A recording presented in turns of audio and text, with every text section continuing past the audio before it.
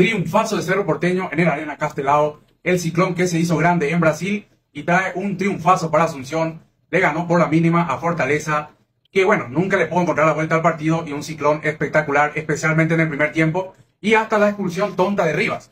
Pero bueno, lo cierto, lo concreto es que Cerro Porteño se puede decir también de que ha perdonado a Fortaleza porque ha fallado muchísimas ocasiones de gol. No digo que Fortaleza tampoco no haya tenido sus chances, pero Jan en su máxima figura en su máximo esplendor, evitó la caída del arco de Cerro Porteño, que repito, trae un triunfazo para Asunción, así para quedar un poco más tranquilo. La vuelta acá, me imagino, a estadio repleto en la nueva olla. Bueno, un Cerro Porteño que en el primer tiempo, si bien es cierto, tuvo un penal en contra, que tapó Jan, por cierto, Jan que tapó absolutamente todo.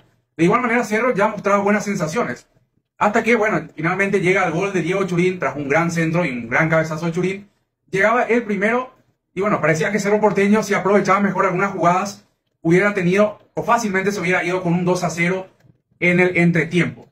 El único que estuvo flojito en la delantera fue Robert Morales, el resto me parece que estuvo súper bien. Gran partido Wilder Viera día de hoy nuevamente, gran partido de Carrizo, ni qué decir de Claudio Aquino y la defensa en general, todos estuvieron súper bien. Partidazo de Baez, partidazo de Patiño, partidazo de Beto Espínola. O sea, el único flojo también es Riva, que bueno, se hizo expulsar tontamente que le pudo haber costado el partido a Cerro Porteño, por lo menos un empate. Pero repito, San Jan en su máxima figura, en su máximo esplendor, salvó el arco de Cerro Porteño y bueno, trae un triunfo que me parece merecido. Incluso pudo haber aumentado el marcador estando con 10 hombres tras el remate de Bobadilla que pasó tan cerca que no quiso ser.